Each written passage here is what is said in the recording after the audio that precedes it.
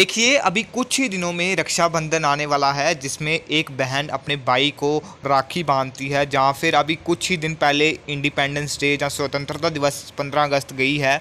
और आपके घर में बहुत सारे मेहमान आए होंगे, शायद 15 अगस्त वाले दिन नहीं आए होंगे, मकर संक्रांति वाले दिन आए, जहाँ रक्षाबंधन वाले दिन आए, आपकी बहन आएगी, आपके भाई आएँगे। तो देखिए, जब वो आपके घर पे पर्दे देखेंगे और देखें कितना नाजुक सा कपड़ा है, कितने अजीब से पर्दे लग रहे हैं तो वो भी हक्के बक्के रह जाएँगे। इसलिए आपको बढ़िया से बढ़िया अपने घर पे पर्दे लगाने चाहिए। जो हम पर्दे देते हैं लोगों को, उसमें एक तो सबसे बढ़िया कपड़ा इस्तेमाल किया होता है। उसकी जो स्टिचिंग होती है, वो बहुत ही ज़्यादा बढ़िया होती है।